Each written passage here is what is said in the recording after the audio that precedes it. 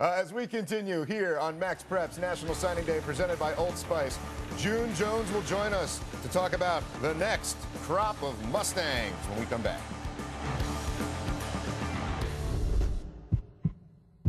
Welcome back, everyone. Joining us now, SMU head coach June Jones, who has rapidly started to turn things around with the Mustangs after a 1 11 season in his first year, 8 and 5 last year. Uh, coach Jones, thank you for joining us now. And uh, I guess with National Signing Day, you're getting the guys that fit into your style of play and, and fit into wins. Well, uh, we're we're excited about the class uh, that we uh, that we have uh, been able to hold on to. You know, I think in years past, uh, you know, when you're not winning, you lose some of the guys you think you're getting. And this year, we we didn't lose. Uh, we we got pretty much everybody that we wanted, and excited about the kids that are that, that the quality of the kids that we're that we're getting. Coach, you've done a good job recruiting outside the state of Texas, which is, uh, I think, uh, a compliment. But tell us a little bit about Stephen Kaiser from DeSmet High School in St. Louis.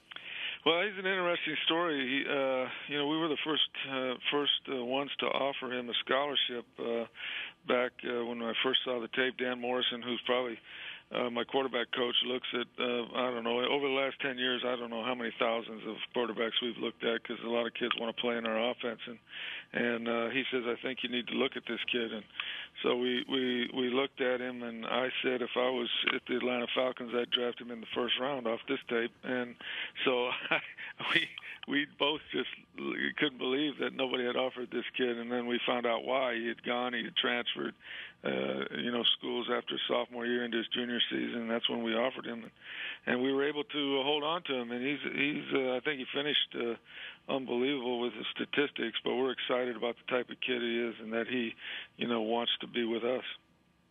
Hey, Jonas, Phillip Fulmer, uh, obviously great job building uh, off of a, a, a start uh, your first year to eight and five this year. Uh, I was looking at the guys that you lost. It looks like you've lost a couple of uh, really uh, good cornerbacks. So any of these freshmen look like they'll be able to come in and help you uh, to replace those guys?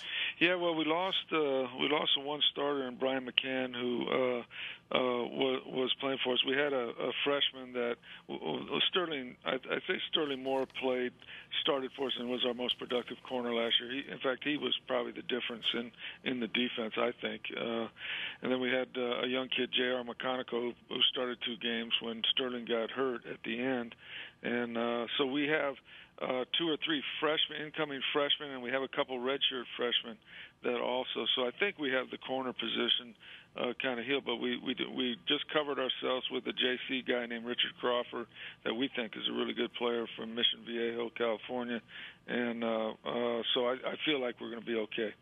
Coach, 30 years ago, SMU was sort of the toast of Dallas, and then they went into a tailspin after some problems, and looks like you're bringing the program back. Have you been welcomed with open arms in the Metroplex recruiting wise? Well, I know this that over the last uh, probably two two years, uh, you know, I've been to a lot of schools where the coaches just looked at us and said, "Man, we haven't seen anybody from SMU in 25 years." So uh, they they have, and they they, you know, my coaches have done a great job of of getting out and and meeting everybody and and cultivating all the the, the coaches, and so. You know, it, it, it, it, there's so many players within 350 miles of our campus that this year we didn't even. I, I think we had one coach go on an airplane.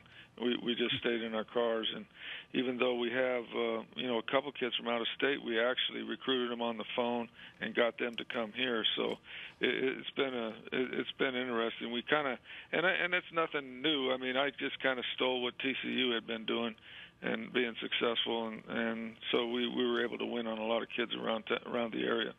And uh, June Jones now logging uh, far, far fewer miles than, uh, than his recruiting days at Hawaii, but uh, the team did end up in the Hawaii Bowl with a win against Nevada. Coach Jones, thanks for joining us here on uh, MaxPreps National Signing Day, and uh, good luck this upcoming season. I appreciate it. Great talking to you.